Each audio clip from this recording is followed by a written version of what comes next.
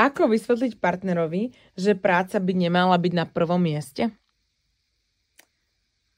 Otázne je, že čo pod, tou, pod tým prvým miestom je, lebo naozaj práca je aj veľmi silnou súčasťou našej vlastnej sebaúcty a sebahodnoty, lebo si vážime seba samého, napríklad keď robíme prácu, ktorá nás naplňa, baví, sme to, sme to my, ale že zároveň si myslím, že dá sa mať aj práca, aj vzťah súbežne.